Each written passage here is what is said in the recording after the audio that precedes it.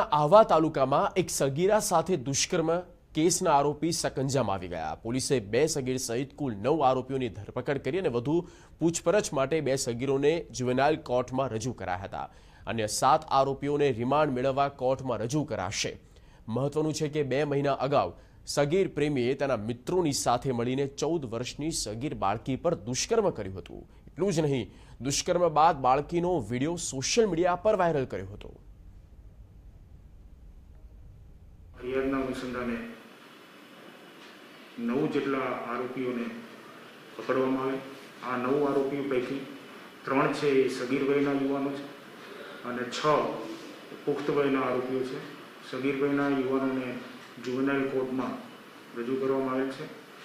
છ આરોપીઓ જે પુખ્ત છે, એમની સઘન પૂછપરછ અને તપાસ ચાલુ છે. એમને પણ અરેસ્ટ કરવામાં આવેલા